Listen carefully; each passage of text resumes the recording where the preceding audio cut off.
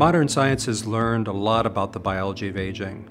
the clockwork mechanisms of aging itself, the discovery of a gene called telomerase that can rewind the clock of aging, indeed immortalize cells, the ability to take cells back to the very beginning of life, to rewind the developmental clock of aging, even all the way back to the first stages of human life, profoundly reversing the aging of human cells.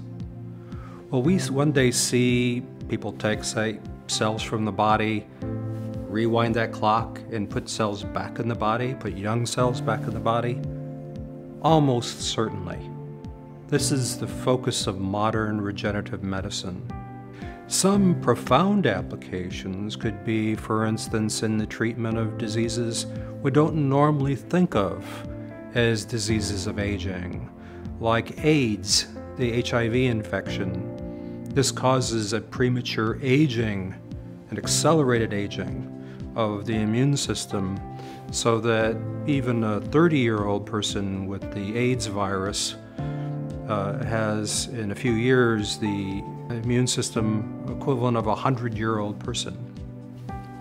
Using the science we already know, we can reset the clock of aging and put other genetic modifications into the immune system of patients and put those cells back into a patient with HIV and potentially curing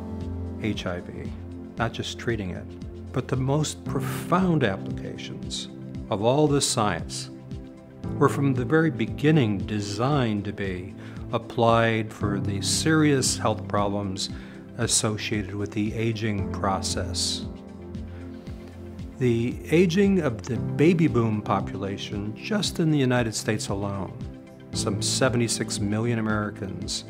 is thought by people who study aging to be a tsunami of devastating proportions, of huge medical costs associated with debilitating chronic diseases that soak up over 80% of the $2.5 trillion a year healthcare expenditures in the United States. So applying this basic science to the chronic problems of aging is really where aging researchers are primarily focused and where we may make some of the most profound impacts in healthcare today.